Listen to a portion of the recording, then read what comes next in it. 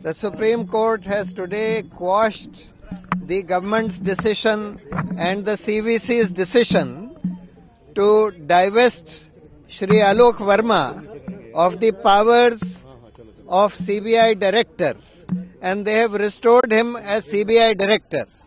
But strangely, despite quashing the orders divesting him of CBI director and despite restoring him, the court has said that he will not take any major policy decisions till such time that this high powered committee of the Prime Minister, Leader of Opposition, and Chief Justice meets and considers the matter. They have directed the government to bring this matter before this high powered committee within a week.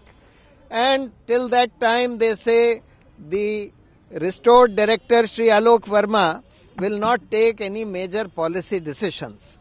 So uh, it's a case of uh, partial victory for Sri Alok Verma in the sense that it has he has been restored, the order removing him has been quashed, the order appointing Nageshwar Rao as the acti- acting director has also been quashed, but unfortunately and strangely, he has been restrained. I mean, from taking major policy decisions. So his full powers have not been restored.